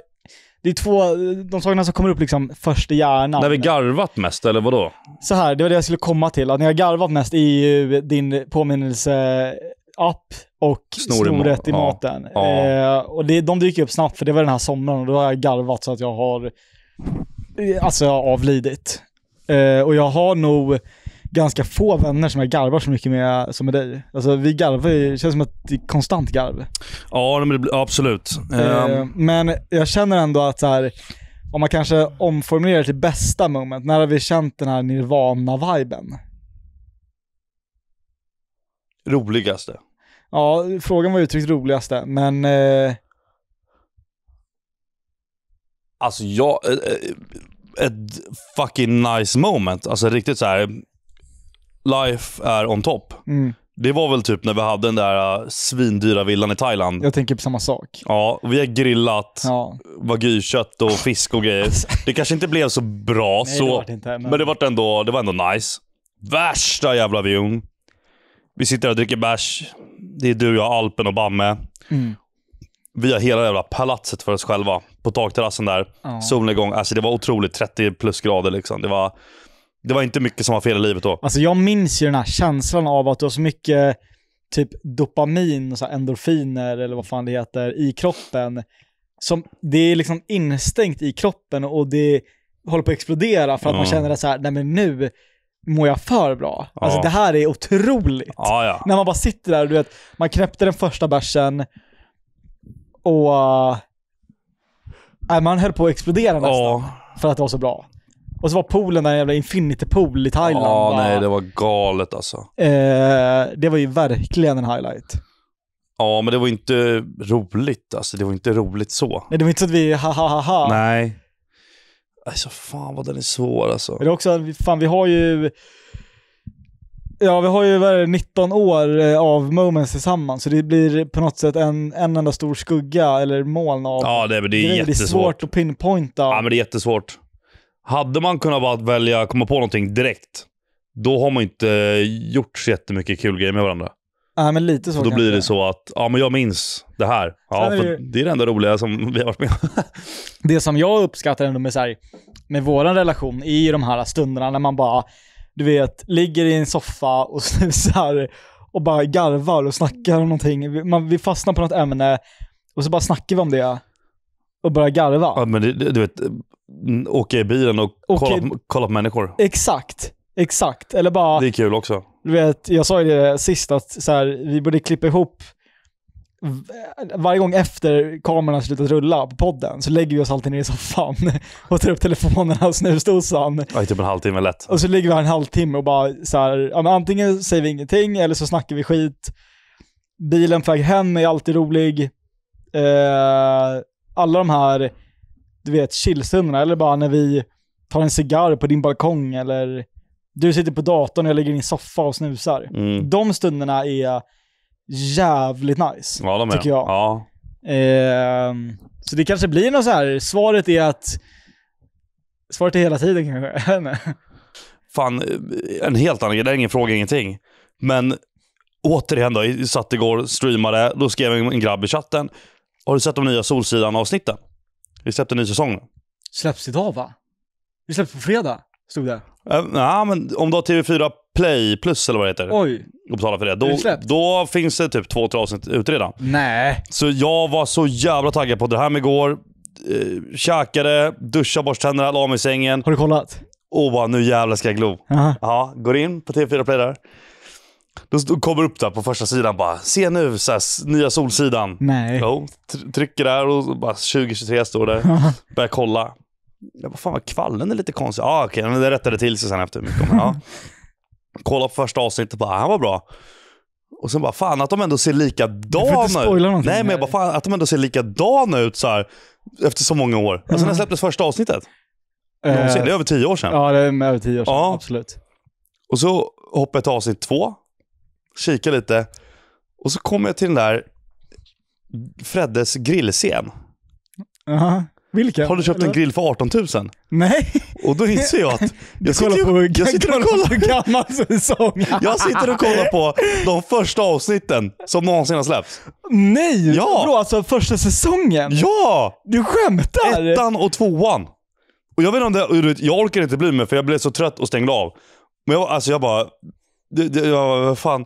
Och det har gått så lång tid så jag, jag har glömt bort allt. Typ. Men det var lite grejer som man bara, fan det här. men då har du inte så bra koll om du av misstag kollar. Nej, jo men alltså första avsnittet, då var det... Alltså det som var skumt, det var väl typ att... Eller nej, nej det var, jag vet inte. Men det var bara just det där med grills, när den där grillscenen kom och sen var det typ att, eh, vad, vad heter eh, Fredde och Mickans eh, son, vad heter han? Viktor. Viktor. Han var bara lite bara, Viktor, eh, lek med maten. Han var liksom skitliten. Jag bara, va? Men vad fan vadå? Men då började jag tänka, jaha okej, har de börjat om från nytt då att typ, han ska vara barn igen? Eller? Ja. Fast det är jättekonstigt. Ja.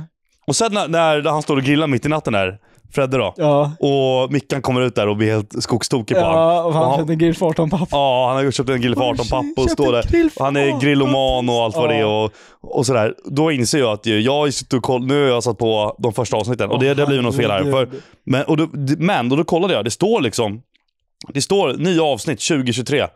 Mm. Och jag tryckte på det. Ja. Så jag fattar inte vad som har hänt. Men jag, jag har inte kollat upp det riktigt än. Men Nej, jag okej. satt och kollade på två avsnitt. Fuck vad taggad jag. Såg du eh, Johan Rheborg la upp en så här... Ja, alltså, ja, såg ja, jag såg den. Så han Jag såg din kommentar också. Ja, Föd mina barn. Nej, det var så här, alltså jag känner det är det är Gudfadern. Ja, alltså det är någonstans, han är grym. det är Kapten Mat och, uh, och Fredrik Schiller. Alltså Fredrik är ju eh, topp fem bästa skådisarna i Sverige. Alltså svenska, alltså hon pratar svenska i... Skådisar eller karaktär? Alltså både och, alltså, Ja, helt ja. ärligt. Nej men alltså... Tänker man på att det är... För det är det som jag har problemet med mycket svenska filmer och serier. Tänk, alltså man, man, man, man ser att de, det är, och hör att det är ett manus. Liksom, att Mm. det är inte alltid Ja. jättebra skådespelare om man säger så. Men märker man det på Fredrik? Nej. Jättebra beskrivet. Ja. För att det, är, det kommer så naturligt. Det kommer så jävla Det naturligt. är som att han är den... Personen. Ja, och det är det som gör mig... Jag kan nästan få en klump i magen när jag får reda på att Fredrik Schiller inte finns på riktigt. Ja exakt, han är inte Alltså, sådär. det finns ju gubbar och boys som är som Fredrik Schiller, men Fredrik Schiller finns inte på riktigt. Nej, exakt. Alltså jag vill ju sitta i 12 timmar från klockan liksom 6 på kvällen till 06 på morgonen och dricka bärs och grilla med Fredrik Schiller. Ja. Alltså det är allt jag vill i livet. Ja. Men han Och- finns inte på Men han riktigt. finns inte, det gör mig så jävla ledsen. Ja. För det, det, är, min förebild det där alltså. ja, han är kung alltså. Han är grym. Mm. Han är grym. Vad, eh, när vi är inne på lite grill och mat va, och sådär. Era death row meals, har vi en fråga här. Alltså vad är det vi... Du fattar frågan va? Mm. Ja men börja du. Eh, jag kommer säga morsans lasagne. Där, tror jag. Okej. För då blir det också death, death row meals. Först, det är rätt som man liksom aldrig tröttnar på. Det är också lite nostalgi, tänker jag att det blir. När man Mm. är där på uh, och ska avrättas. Morsans lasagne. Mm. Den är fruktansvärt god. Den funkar skitbra dagen efter, två dagar efter, tre dagar efter. Lika Den blir god. nästan godare då. Den blir typ godare. För den har liksom klibbat ihop sig lite Ja, och gottat till ja, sig. men och du vet, den har liksom- jävla nice. Marinerats lite. Ja, vi, vi har ju lärt oss det. Alltså, du ska göra lasagnen, ta ut den och låta den ligga i typ en timme Mm. innan du börjar käka den. Ja. Fruktansvärt nice. ja, ja, 100%. Ja, men vad fan hade jag valt då? Um... Ja, men det är mycket såser och fritering. Jag tror fan det blir det alltså. Såser och fritering. Ja, men det gulaste och mest friterade du kan hitta. Ja, en, en friterad tallrik. Ja, men bara chili, sriracha mayo, jalapeno eh, Ja. grejer och bara... Ja, alltså du vet, jag, det, jag, alltså, jag försöker äta cleant nu, bulka cleant. Ja. Och vi har ju snackat om det, ja, alla säger bara det och sen bara börjar folk fucka ur och du vet, ingen bulkar i cleant riktigt. Nej. Nej, igår sitter jag på kontoret och jag bara, jag är inte hungrig. Jag är inte mätt. Men fan vad sugen jag är på någonting. Mm. Så vi har fått lite påfyllning här då, i den här Tre Vänner-frysen med glass. Fått såna här stora, du vet, så här Ben Jerry-glassar verkligen. Ja, Vad, vad, vad kallar man det för? Ja, men en hink. Hinkar liksom. ja, Ja, bucket. öppnar upp en sån här lakrits-Janne. Ja. Fuck vad god den var. Käka upp hela. Sen läser jag efteråt, det är tusen kalsen här. Åh herregud. Går 20 minuter. Vad har vi, vad har vi fler för smaker? Hittar någon jordnötter med eh, kolasås och eh, saltade eh, King Kong. säger. Ja. Den här ser trevlig ut. Öppnar upp den. Äh, fan, det var bara vanilj här. Men det kanske kommer lite godare grejer längre ner. Ja. Så jag måste käka för att komma djupare ner. Och mycket riktigt, där låg det massa kolasås och massa jordnötter. Rostade jordnötter. Och det var så gott. Och jag åt upp det med. Nej, Jo. det är dagsintag Så det var, jag, jag åt Det var jag käkade Det var, det var, det, den var lite mer än 1000 kals tror jag. Så det, jag åt typ ja, mer eller mindre 2000 kals i glass på en timme igår. Så din clean bulk har gått till en dirty bulk på en dag? Ja, den dagen Igår vart det ju det. Ja. Eh, och sen käkade jag en pad thai nu. Det var ju inte bra heller. Men jag menar, jag är svinhungrig. Jag har matlådor hemma som är redo, men ja, vi ska podda och innan jag är hemma. Du vet, alltså fan, det tar tid. Då kommer jag hinna dö. ja. Och det är inte bra. Jag gillar ju någonstans att du, att du käkar partaj under podden. Ja, eller hur? Tio vart jättearg, producent Tio som sitter Ja, han gillar här. inte det. Han, Han, gillar vart inte det. ju jätteförbannad. Ja. Satte på hårdhandskarna och gick verkligen in i den här producentrollen när du beställde den här partajen. Ja, Och sa, men "Det här kan du inte göra." Det blir liksom inget bra. Men jag någonstans backade. Att du kan köra partajen under podden. Det gör det lite mer avslappnat på något sätt. Ja, men det behöver inte vara så jävla perfekt liksom. Nej, Nej, exakt. Nej lägg av. För vi är inte perfekta. Ja, fan eller? Fan eller att vi är det. Eh, Okej, jag, jag la upp en snap också och bad om frågor. Jag har fått 118 eh, svar Ja, här. kul. Okej här. Om ni kunde göra en tidsresa framåt i tiden eller bakåt i tiden, vad hade ni gjort och varför? Okej, jag kan börja med om jag hade fått spola tillbaka tiden. Det är ju 100% någon investering då.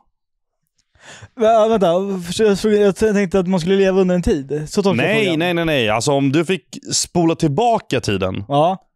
vad hade du gjort då annorlunda? Jaha. Och det kan vara typ så här, nej men jag hade fan inte, jag hade inte gått på den skolan eller jag hade, jag hade förstår. Ja, ja, okej. ja. Ja, men du vet, ja. För nu vet man ju. Jag hade ju 100% bara investerat i bitcoin eller något sånt där. ja, Eller du vet, startat upp något jävla, kommit på någon idé som finns idag som är, alltså, någon pengagrej. du, har- just det. Du hade gjort dig mångmiljardär helt Ja. enkelt. Jag menar, om man För det blir väldigt ja. enkelt. Ja, det blir väldigt enkelt. Ja. Ja, men vadå, investera 100 lax i bitcoin ja. när det stod i en dollar liksom. Grattis. Alltså, bara en liten kort side-note här. Varför inga av de här spå-människorna som kan se in i framtiden som gör det här? Ja, det är så jävla Det, sant. det är så här, alla är ju, ingen är ju rik.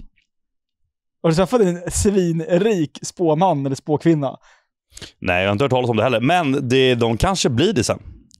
Det är kanske de som är de där uh, bitcoin-miljardärerna. kanske, kanske. Har ingen aning. Ja. Nej, men det, det hade jag gjort. Ja, Om jag kunde se in i framtiden. Alltså så här, någonstans är jag så jävla nyfiken på framtiden samtidigt som jag inte vill veta ett skit. ja, Tänk så, ja men Samuel nu får du hoppa fram tio år, fram, eh, tio år fram i tiden. I en kvart. Så får du leva det i, ja. Mm. Och då är jag eh, 33. ja. För det första hade jag, om, jag- om jag fick det valet, ville jag det. Jag tror inte jag hade vågat. Nej. Och sen, tänk så är det svart. Man är död då. det vill du inte alls veta. Nej. Eller vill du det? det Nej, du inte. fuck no. Nej, exakt. Nej, det vill du inte. Nej. Nej men alltså, för, för, för frågan var väl vad jag hade velat... Okej, frågan, okej, alltså vad jag hade velat veta kanske. Typ. Men typ så här. Jag, nej, jag vill nog inte veta någonting om Men min jag- framtid. nej, men så jag, vill, här- jag vill inte veta ett skit. Så här, jag, jag, såklart att hade jag gått tillbaka i tiden så ekono, ekonomiska liksom, manipulationer 100% hade jag Mm. gjort, liksom fifflat lite sådär. Eh, men annars är det, det låter jävligt klyschigt att säga det, men att, att ångra saker eller att gå tillbaka i tiden och älta det, det ge- ger ju ingenting och att lägga energi på det är helt meningslöst. Samtidigt som att oroa sig för framtiden och den där biten är lika meningslöst också. Ja. Så att hur klyschigt den låter så är att leva i nuet är jävligt jag ser det som väldigt viktigt. Alltså, men vad Mm. vill jag göra nu? Och inte hålla på och tänka... Alltså jag tycker, tänker du fler än liksom två, tre månader fram så tänker du för långt fram. För det är så jävla meningslöst när allting ändå, det händer grejer hela tiden i ens liv. Som man bara, oj, det här hade jag inte förväntat mig. Ja, men det, vissa grejer behövs väl typ tänkas lite framåt. Som, Nej men alltså fan vet jag om det är någon resa du ska göra eller, jo, eller wha- whatever, ett husbygge eller du fattar någon investering eller hur ser du, alltså förstår du vad jag menar? absolut. Men alltså jag menar, Men de jag... här, vad ser du själv om fem år frågan? Ja, ja, ja, nej men, ja. Eller, eh, nej. nej, jag börjar bli så trött på den. men den är Jag börjar bli så trött på den. ja, den är, meningslös. Absolut, så här, vad har du för planer framöver? Det är en Ja. annan fråga. Men vart ser du dig själv om fem år, om tio år? Nej, men jag ser mig själv bo i en villa ute på Värmdö med min fru. Vi har, vi har, vi har två hundar, två barn, nej tre barn. Vi har en Volvo, en fin båt där nere vid hamnen. ja, där. just det. Eh, och, eh, nej men det, det är såhär, vad fan, fan du, du, du sitter och drömmer om grejer. Ja, ja. Och, men både du och jag är ju verkligen så här att vi, vi tar ju saker som det kommer och vi har ju noll planerat och vi kan kna, knappt hålla koll på oss själva och vi kan inte gå upp tiden vi ska gå upp Nej. på. Du vet den där, Nej. så. Men vet du vad, jag är bombsäker på att det är, jag har en bra framtid. Jag med. Bombsäker på det. Exakt, jag med. Ja. Och, och, då, och jag är också bombsäker på att det jag tror eller vill ska hända om ett eller två eller tre år, det kommer inte hända. Men det kommer bli något skitbra. Men det Ja. kommer inte ske liksom det som jag kanske tror ska ske. Nej. För saker bara dyker upp och det Nej. händer roliga grejer, så hoppar man på det och så gör man något annat roligt och sådär. Det är fan, eh, det är så va. Ja. Nej men helt rätt. Helt rätt. Det var väl, eh, vad var det, Oogway i Kung Fu Panda sa väl det?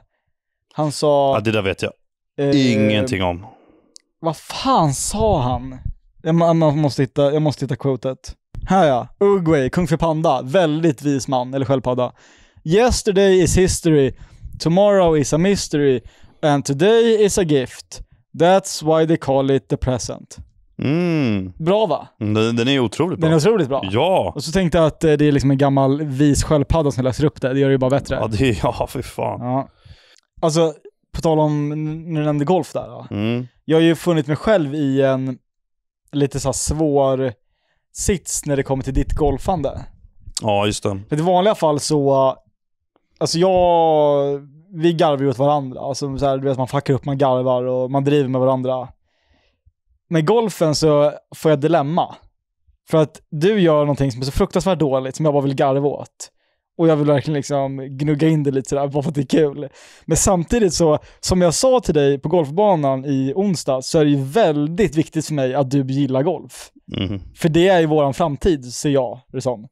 Jag ser ju oss där på golfbanan om 30-40 år och du vet sådär, alltså bara leva livet. Jo, men att, att du ska behöva vara nojig för det. Alltså, Joppe, jag har så många år på mig. Jag vet, men det känns ändå som att det är liksom nu, det här är dina första golfrunder och det är ändå viktigt någonstans att du är inte helt värdelös när vi ska snacka affärer om liksom 20-30 år. Du måste liksom ändå ha en okej sving. Sådär. Ja. Och kunna träffa bollen. Ja. Eh, och dessutom bara av liksom ren njutning att stå där och bara, ja men vi drar och kör en runda, liksom, för att vi inte har någonting att göra, för vi är liksom multimiljardärer och jag har inget annat att göra om dagarna. så måste vi kunna dra till golfbanan. Du, är inte, du, du är rädd för att du kommer hamna på golfbanan själv. Ja, exakt så. Och därför är det så här, jag måste hitta någon så jävla fin balans i liksom stöttande och uppmuntran samtidigt som jag måste garva åt när du fuckar upp för det är så fruktansvärt kul. Mm. Vi spelade golf i förrgår tror jag det var. Ja. Och det, jag var ju inte bra. Nej, det var det inte. Nej. Nej, det var Och det, är- det är sanningen. Ja, Och det filmades. Det filmades. Och det kommer upp på YouTube, inte på min kanal. Det kommer upp på Johanna Johanssons kanal. Vi, jag, Sig och Joppe var med där och gästade och, och körde lite. Det, det, det, det är en grej att vara dålig första gången. Ja. Kanske andra gången. Mm. Vi är inne på tredje gången nu. Och det är fina banor vi är på. Och jag får hjälp. och det är, det är, det är bra Det är det klubbor. är så jävla kul att det är så fina banor som du är på. Ja. Alltså, du ju Och jag har fortfarande inte grönt kort. Ja, nej, du har inte grönt kort. Kliver runt i Visby GK, Ja. Sydafrika, Lidingö GK. Ja, och kalla pegg för pinne, bunker för sandlåda. Alltså det är så jävla kul. Och, Eh. och slag för, Eh, slag för... ehm, vad säger man? nej, du säger... Skjuta. eh, Ja, exakt, du säger skjuta, Ja. inte slag. Men det är liksom det som är hela problemet med din golftid, att du tänker att du ska skjuta den och inte slå den. Alla säger att jag, jag kör för hårt. Ja, men du gör ett, om alla som lyssnar föreställer sig ett innebandyslagskott, eller ett hockeyslagskott nästan, så är, nej innebandy, det är din, din Mm. sving. Mm. Och jag fattar inte att du, alltså muskelminnet liksom inte riktigt har satt sig där äh, än. Kommer. Det kommer. Ja. Och jag, det gläder mig att du säger att Ja, det kommer. för det ger Jag kommer inte ge upp. Jag kommer inte Bra. ge upp. Tack. Ja. Eller hans lag. Du, nu får du ett riktigt lökigt handslag. Bra, bra, Ja, bra. Det är ja, jag van vid. Ja. Nej, men nu kör vi då. Ja, Nu är det fan dags för eh, veckans eh, snus. Jag är jättetaggad på den här. är det så? Jag vet inte varför. Men då har du något bra, eller? Nej, men jag har lite historia. Fan vad kul! Jag har lite historia. Men Då tycker jag att du ska börja med den. Ja, vi börjar med den. Fan Äh, jag men, blir. eh, jag klev ner till matöppet. Jaha, Mm. Jag var också där. Ja, du var också där. Jag var också där. Läskigt. Då kanske vi har köpt samma då. Jag tror inte Men, det. nej, men så här. Och då, ja, ja, det finns ju två snus som jag gillar väldigt mycket. Den första är ju då POV GT som ligger här. Sen har ju den en liten lillebror vill jag säga och det är G3 Viten. Mm. Alltså, ja. Ja. Så det är POV G3 och så är det G3 White. Så jag kliver in där och bara tja, det här var typ fem dagar sedan. Mhm. Jag bara tja, en, eh, en POV G3, den här silvriga där uppe i högra hörnet och sen tar jag en G3 vit också. Och sen eh, kollar jag på min telefon för jag fick några sms någonting. Och sen bara, ah, det blir eh, 105 kronor eller vad fan det vart. Och jag bara okej bra, blippar. Då ligger då, ena dosan ligger här och så ligger den andra över. Mm. Så här ligger de. Så då, den, de ligger på varandra. Liksom så här. Tar båda doserna och lägger i min väska, stänger väskan och går därifrån. Mm. Sen när jag kommer hem och tar upp väskan och bara, vad gott det ska bli med en POV G3. Ja. Tar upp båda bo- doserna på bordet. Bam, bam. Märker att jag fick en G3 vit, men jag fick ingen POV G3. Nej. Jag fick en annan dosa och det märkte jag när jag kom hem. Vadå, hon gav dig fel? Gav mig fel. Nej! Och den ska du få. Åh! Det är den här. Åh jävlar! Det är då en G3 Slim Extra Strong. Så det är en G3 White fast det är brunt. Ja exakt, den är brun ja. Mm. Stark som fan va? Ah, ja, Nej, men den är- jo, den- jo, den men det är det den väl. är, ja, det- Nej, överdrift med stark som Ja, fan. ja. Men den är ju kraftfull. Ja, den är minst sagt. kraftfull, absolut. Så det, det, det är den lilla historien. Jäklar. Och jag kan säga att jag vart så ledsen. Och jag vart så ledsen. Det ledde till någonting bra. Det, jag, ja, ja, dagen efter, för jag, den har bara legat på bordet hela tiden. Jag bara, fan, alltså, ska jag gå och liksom returnera den? Eller ska jag göra? För det hade man kunnat gjort. Ja. Men jag slängde kvittot och jag pallade inte vara jobbig. Och jag bara, vet du vad? Perfekt, veckans snus. Ja, det är skitbra. Mm. Väldigt eh, manlig. Ja, absolut. Eller ja, slimprillor. Men, Ja, sant, sant, sant. men jag hör det. Ja, sant. Det är väl lite... Får man ta? Nej, jag kommer nog ta den som du har. Du Ja. får väl eh, avgöra själv om du vill ta den här eller en av min. För min är ju, jag tänkte motsatsen till den där. Är det vitt? Nej. Men så här, du har gett mig den här tidigare i podden, eller liknande. Och eh, jag kände att det var lite så här uh, förödmjukande är ju absolut att överdriva. Men det var ändå lite så här, uh, känna jag tittar ner på dig lite nu så. Eh, och, Det är billigt. Nja, Jo, det är billigt. nja, nej. Och jag kände att så här, det, jag kommer inte må bra i magen förrän det är liksom 1-1 i den matchen. Eh, så, Det, det är någonting med kalibern. nej, så att eh, du ska få den här rackaren av Nej, det är en jävla kuk alltså. Det är jävla kuk. En liten Ja, general ja, okej, okej. white portion mini. Fast vet du vad? Hellre den här än den där gröna du fick. 100% ja. Ja, ja, den är mycket bättre. Alltså det Men den är är... helt meningslös. För Alltså- du måste ju ta typ tre stycken för att det ska vara en när jag gav den där gröna, det är lite diskriminerande. Det är ju det! Ja. det, är såhär, alltså det är verkligen som att såhär, um, kommentera typ en kort killes längd eller typ såhär, säga att någon inte tränar. Eller, du vet någonting, det är såhär, en s- liten, liten pik om att såhär, Ja. tjena du är en kvinna liksom. Ta den här lilla... Ta den här lilla rackaren. Ja. Alltså det, vad, vad kostar den här? Oh, fan, vet inte. Ja, det är säkert så här 40 spänn. Ja, kanske. Det är helt sjukt. Och hon sa ju det i, på matäppet där. Mm. Hon bara, ja det här är, och, du, du köper kvinnosnus alltså. Nej, hon sa det alltså? Och jag bara garvade och så var syrran i butiken också. Och uh, hon bara, det är jättekvinnosnus där, det, det, det är så tantigt. Eller hon sa något så här om att det är jättetjejigt. Nej, de är jättesmå de här. Det är alltså, för de som lyssnar här så är det en sån här liten General eh, White. Alltså jag känner inte ens att den är inne när jag Nej. tycker så. Alltså, jag- det känns som att jag inte har någonting inne. Ser man ens att jag har den inne?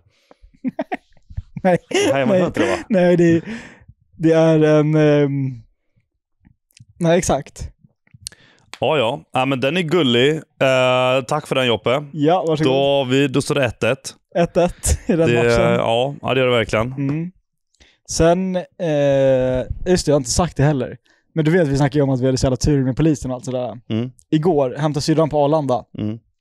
Från Arlanda till Stockholm, det är ju typ så här 50 minuter eller någonting. Mm.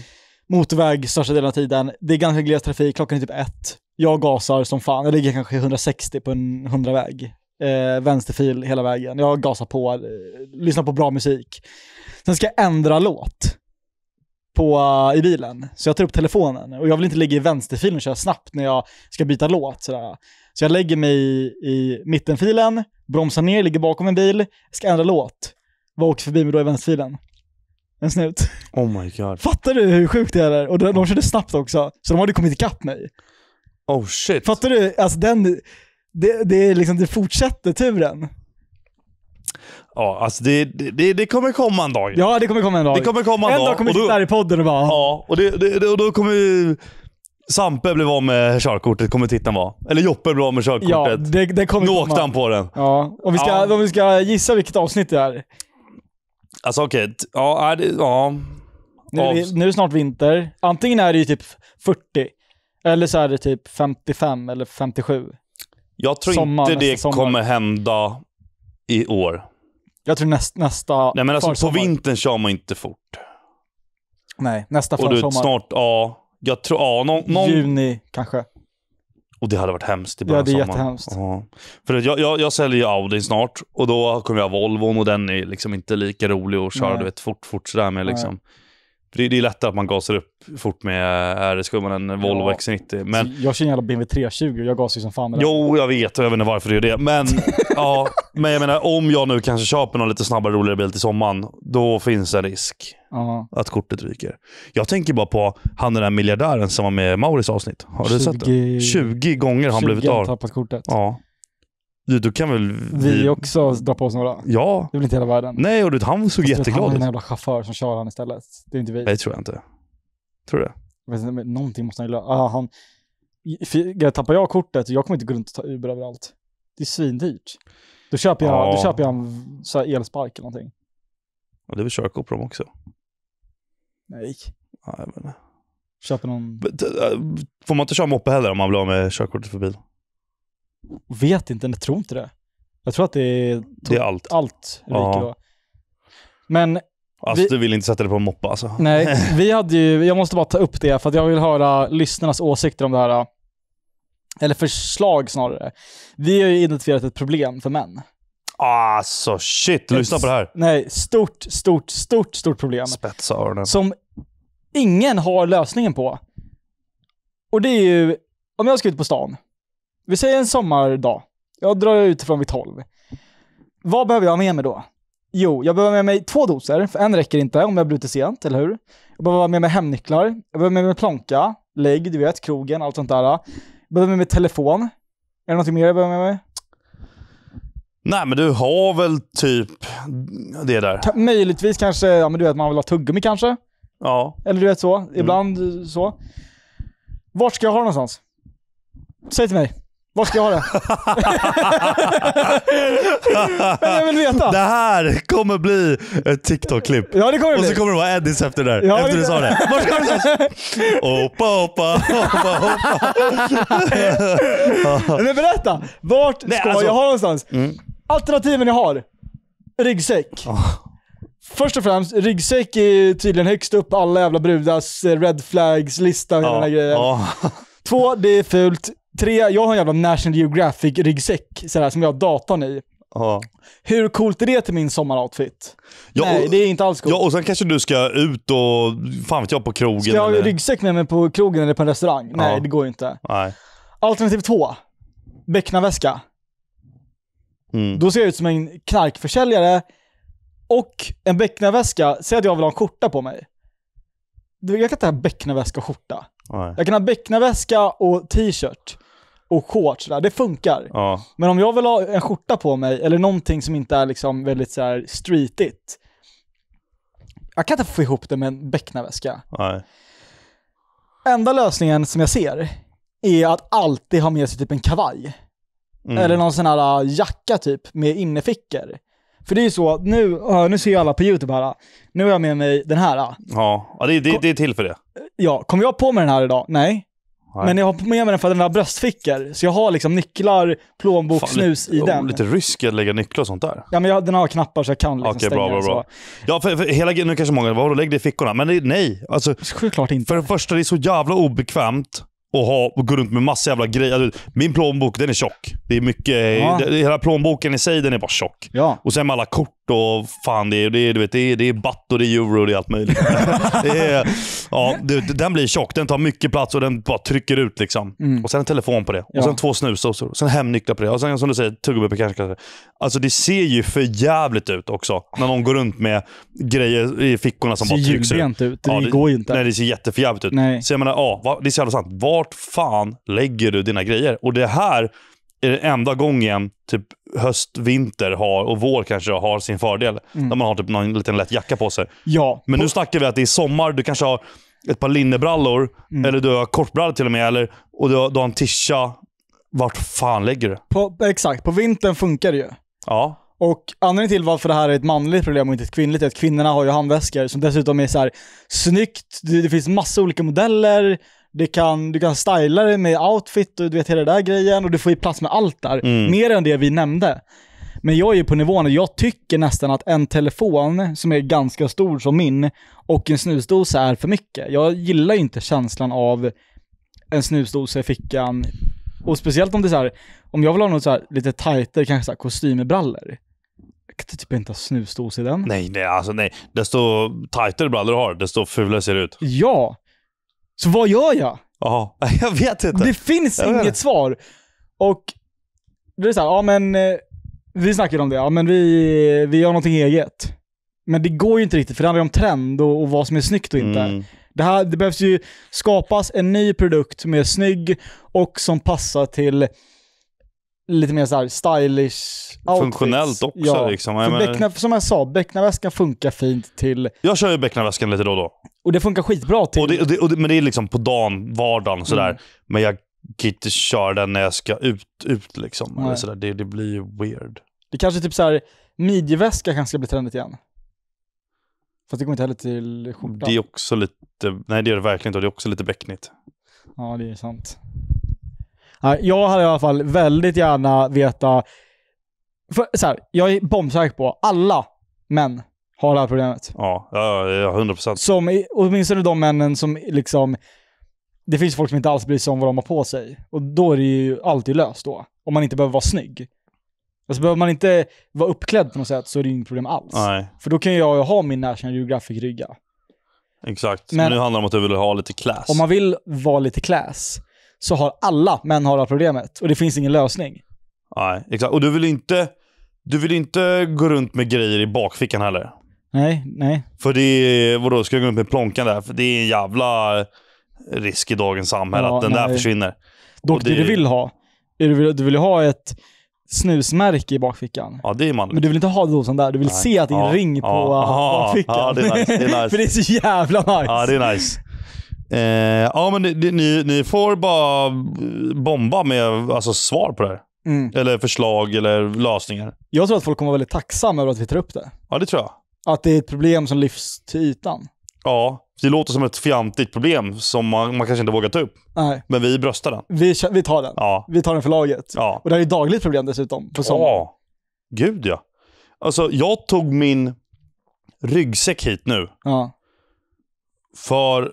Och vi, vi, vet du vad jag har den? berätta. Snus. Telefon... Nej, ja, snus, plånbok. Mm. hemnycklar, Ja, bilnyckel och nyckeln till kontoret. exakt. That's it. Går bara ut med en massa onödiga liter. That's it. Ja. Nej. Hör du på det? Nej, det är helt otroligt. Eller ska, ska handväska bli eh, trendigt för grabbar kanske? Och de som kommer föreslå tygpåse nu här, för det är sättet vissa kör, Mm. Det ser lite, jag känner mig inte bekväm med att gå runt med tygpåse. Mm. Det blir lite, ehm, Feminint. ja. Alltså det känns inte riktigt bra. Om jag ska ha en tygpåse så måste jag liksom, du vet jag går hellre runt med en jävla ICA-plastpåse än en tygpåse nästan. För att den kan jag hålla liksom, det Ja, ser väldigt ja, såhär, ja. det ser lite brötigt ut. Tygpåsen blir väldigt såhär, nu ska jag gå och dricka kaffe latte och ta någon såhär margarita på kvällen. Ja, och, uh, ja. Sen går jag och, till mitt så här marknadschefsjobb på något så här startupbolag. okej. Ja. Ja, ja, men det var bra. Bra, bra detaljerat där. Det, um, ja, men alltså återigen, fan hjälp oss. Alltså, det är, Mm. som tur är så går vi mot vinter nu, så vi kanske hinner komma på någon skön idé till sommaren. Ja. Men ja. Jag är väldigt nyfiken på att höra. ja, det, ja alltså, jag ska säga, hittills är min favorit nog ryggsäcken. Och min blir typ, ja, ja, ja, nej, min blir typ öppna väskan. Men, Ja, ja eller, alltså, det beror helt på vilket tillstånd det är. Alltså så här. Eller jag menar liksom vad, vad man ska göra. Ska jag ut, ut? Nej, då blir det inte ryggsäcken. nej. Jag vet, jag vet inte. Du vet, alltså, jag, jag skämtar inte. Alltså, vet du hur många gånger jag har tömt min plånbok och bara gjort den så lite som möjligt? så, så att det bara är lägg och eh, alltså, mitt bankkort.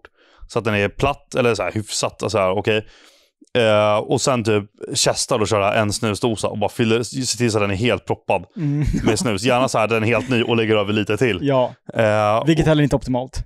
nej, och så här, det, fast det, nej, det är inte Nej. optimalt alltså. Fan vad jobbigt det ska vara. Fan. Ska vi eh, avsluta med sista frågan? Ja, kör. Mm. Okej, sista mm, frågan eller eh, vad man nu säger, Mm. tar jag upp här nu. Ja, kör. Det här avsnittet. Vill ha input på min affärsidé. Tänk ett gym, men du har tillgång till mat i samband med gymmet. Du har en restaurang i, i gymbyggnaden. Där finns rätter som är anpassat för alla. Du har bulk eh, i mer extrema mängder och icke extremt i olika val av rätt. Samma för DEF, men du har också eh, valet att ha rätter som är vegetariska, veganska, eh, med pasta eller ris och så vidare. Med, med gymkortet får du även en anpassad eh, eh vad står det? Korstolar? Vad tror du? Anpassad korstolar? vad är det för något? Jag vet inte. Utifrån dina egna mål? Körstolar, eller vad ska det vara? Korstolar står det. Eh, Jag har ingen aning vad det är. Ja. Eh, Ett matschema antar jag. Mm. Eh, utifrån dina egna mål och får maträtter som säljs eller recept på mat eh, du kan laga själv. Eh, man kan även köpa maten i matlåda eller fråga eh, kockarna om specialgjorda recept. ska även finnas tillgång till små snacks eh, och eh, tillskott, kosttillskott som proteinpulver eller kreatin på menyn. Eh, på menyn vill jag även ha lite säsongsbaserade rätter. Som på våren kan man beställa en stor eh, pannkakshög. Månadens cheat meal. Ja, Namnet för gymmet ska vara Fit Fuel. Just det.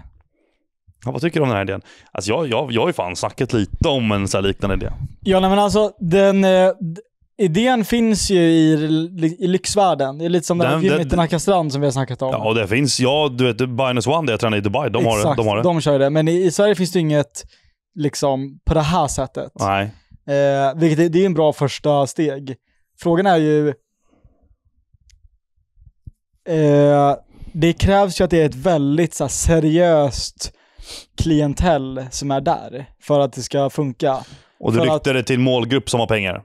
Ja, exakt. För, för det måste ju vara, det här är ju riktat till typ byggare och liknande. Eller Alltså kropps, satsiga gy- kroppsbyggare. Ja, Alltså. eller, exakt. eller satsiga gymdudes. Eh, och tjejer. Men alla som är där för att träna och vill göra det så snabbt som möjligt och sen dra hem, gillar ju inte att hänga på gym. De är där för att de måste. Mm. Så att jag tror att de först måste identifiera hur många av de här satsiga människorna kan man dra dit? Och hur många av dem kommer sen käka här? För det är möjligt att, jag tror att det finns en risk att de här restaurangdelen och sånt inte kommer dra tillräckligt med, med besökare. Mm. Att det inte är kostnadseffektivt. Det, är det, det, det, det såg jag i Dubai. Alltså, då är det, ändå liksom, det där gymmet kostar typ 50 lax om året, eller vad fan det är. Ja. Ett gymkort där. Och de har ju restaurang, de har hårstudio, de har DJ, du vet, de har allt möjligt där. Men det är inte jättemånga som käkar på restaurangerna. Nej. Och jag kommer inte ihåg, jag vet inte vad det kostar. Jag tror Oliver drog och köpte någonting till mig där i restaurangen när vi käkade där. Men jag menar, jag antar att det inte är bangerpriser. Nej. Så du ska först betala jävligt mycket för ett gymkort. Och sen du vet, de där restaurangerna, sen ska du ha kockar där och så vidare. Mm. Och gympersonal och grejer. Och sen ska folk köpa maten. Så att det kostar en hundring eller 120 Mm. spänn per måltid. Det är, vilka kan lägga de pengarna var och varannan dag? Det är, ja, jag vet inte. Om man skulle kanske... Jag, jag, gillar, jag gillar idén. Ja, nej, men jag med. Men och skulle Verkligen. man kanske utveckla idén och bygga vidare lite på den så hade jag nog sett att jag hade velat ha en matkedja som finns lite här och där som säljer mat både för diet, def och uh, bulk och allting. Alltså färskt tillagat, liksom riktiga rätter som på vilken restaurang som helst. Men där näringsinnehållet är ganska tydligt eh, så man ser exakt vad man får i sig. För Mm. idag när man käkar på restaurang så vet inte jag vad jag får i mig. Det där är ju fan, jag tycker USA är väl bra på det där, va? Och de har väl säkert någon sån här laggrej. Ja, de det måste typ stå mycket innehåller Ja. liksom. Och det där saknar vi i Sverige. Alltså när jag är på restaurang så vill jag veta vad jag käkar när jag är på diet. Så att jag kan, ja men kanske skriva in så här, nu har jag käkat 800 cals. Eller 1 och 5, eller 2 och 5, eller vad fan det nu är. Det tror jag är kanske, ja men, en lite fitnessfokuserad restaurang. Mm. Så ta bort- kanske den kan Ta bort kombinationen. Ja, Men ja, absolut, den skulle senare kanske kunna vara liksom i ett gym. ja. Så får man se om det är lönsamt eller inte. Men ja, den idén tror jag kanske Mm. mer på. Mm. ja, jag hör det. Ja. Verkligen. Men det är ingen dum idé, Kingen. Eh, det är det verkligen inte. Det, det handlar ju om utbud och efterfrågan och vi vet inte ifall efterfrågan är så stor när det kommer till det. Nej, och det kan inte vi svara på heller. Nej, verkligen inte. Ja, Gänget, eh, tusen tack för alla som har ställt frågor. Joppe, du ska dricka bärs om tio minuter. Jag ska dricka bärs om 10 minuter och käka tysk mat och sen ska vi kolla Dortmund eh, mot Hoffenheim. Mm. Borta, 2030. Eh, den matchen är redan gått för alla som lyssnar på det här. Så att eh, vi får se vilket humör jag är på ikväll. Ja, just det. Om det, blir, det blir alltid när man dricker bärs till fotboll så blir det alltid Alltså dricker bärs till fotbollen så blir det alltid deppigt om man förlorat. Mm. För då sitter man där semifull och har wastat kalorier på bärs Ja. och de har förlorat. Åh fy fan. Vilket är så här. jaha, vad gör jag nu då? Vinn eh, Dortmund ikväll, då måste den här dagen vara otroligt bra. Den, den, är, den är, det är prime. Det är Ja. väldigt bra. Det är Ja. väldigt bra. Eh, så är det ju nästan alltid. Ja, Mm. men jag tänker med helheten liksom. Ja men ja, verkligen. Vi har suttit här och bara Ja. mått bra till oss. Och sen bärsen och Ja. och det. Ja, ja, det är så nice. Hörni, tack och hej på er. Vi Tack och hörs och hej. ses nästa vecka. Tja! Tjena.